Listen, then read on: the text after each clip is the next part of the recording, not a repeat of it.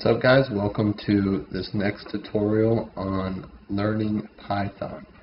Now in the last video I showed you how to basically get to this point here where um, you have the Eclipse IDE all set up for Python and in this video I'm going to show you more in depth on, we're just going to get right into uh, the Python programming language.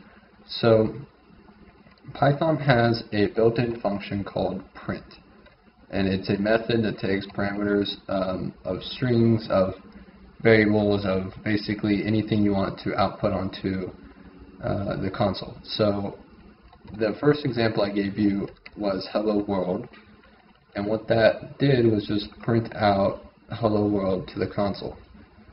Now,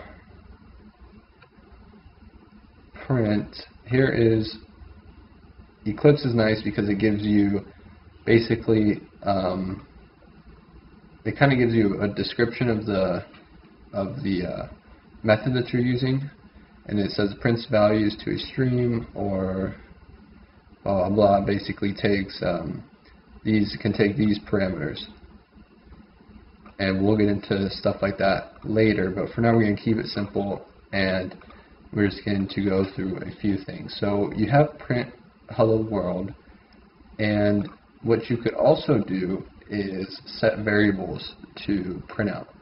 So if we wanted to set the variable, I don't know, string is equal to hello is equal to hello world and we're going to print string. And if we run it, you'll see that we still get hello world.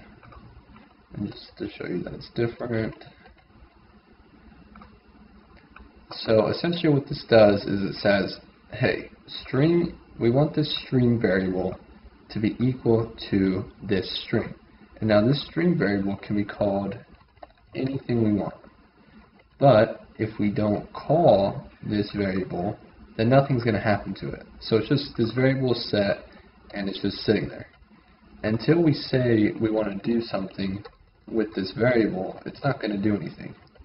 And in fact, it gives us an error if we say, so let's just say we want to say string. String, this variable does not exist. We didn't tell Python to create this variable. So if we run this, we'll actually get an error saying that, hey, this variable, it does not, it's not defined. We didn't tell this variable to be equal to anything. But we did tell this variable anything, which is what we can call it. We can call it anything we want to be equal to hello world. So now that we instantiated this variable, we can run it and it will run it just fine. Now, if you wanted to,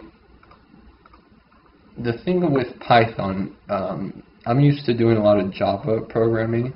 So the cool thing about Python is that you don't have to um, basically determine what type of variable you're going to be. Like in Java, you have to do int to determine if it's integer or string to determine if it's a string. In Python, you just name the uh, variable and then what it's going to be equal to. So if I want, let's say I want anything to be equal to hello world, and then I want it to print out anything.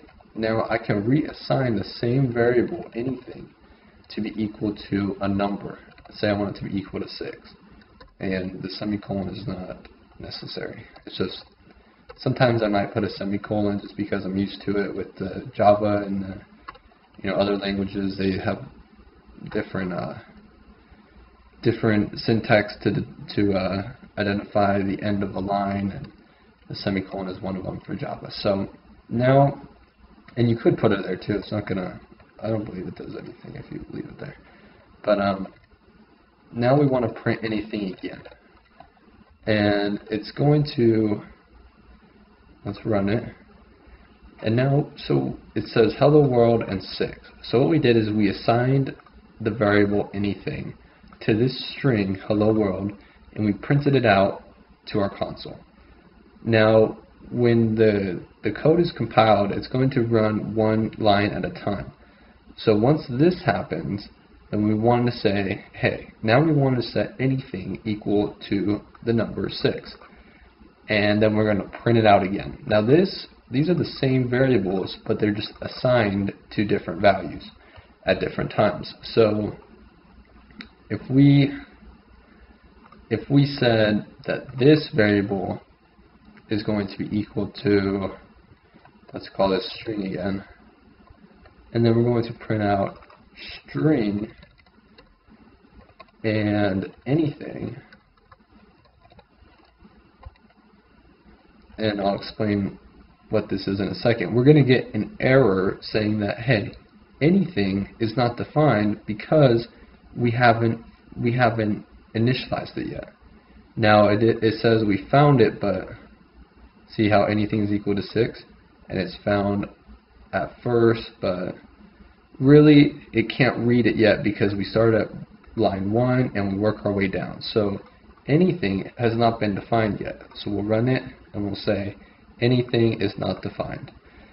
But in our code we did define it, but we just didn't define it correctly. So if we wanted to run this string, we would have to define anything before we basically do something with it. So this is going to essentially just print out string and anything. Hello world 6. And now you'll notice that there's a space between hello world and 6. Let me clean this up a little bit. hello world space 6. And you're seeing that even if I close this little space here, you'll notice that there's still a space between hello world and 6.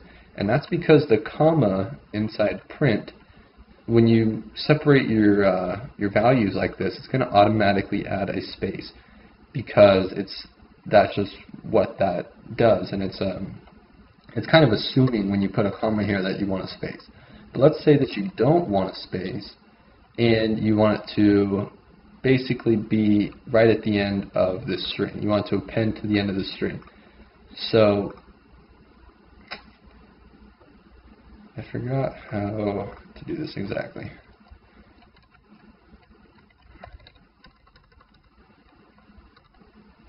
String. See, this is where my Java and my Python get confused. So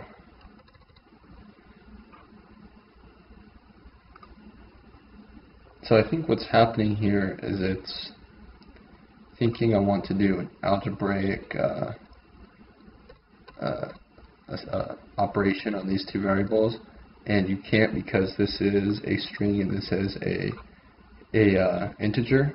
So in order to basically get the space away, let's say we had, um, let's say we print string, the variable string plus, and we use the plus assignment to append it to another string, and we're going to create this string on the fly. We're going to say uh, goodbye.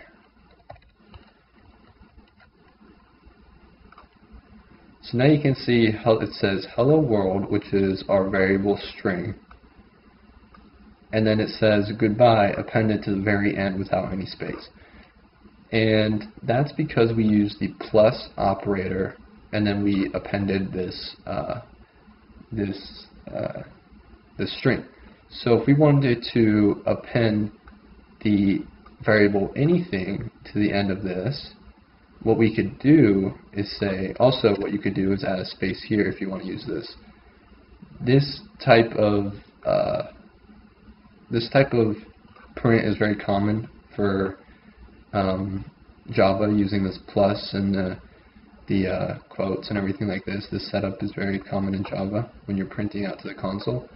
So if we put a space here, then essentially what that's going to do is create a space for us. I mean, not for us, we did it, but it's going to add the space there.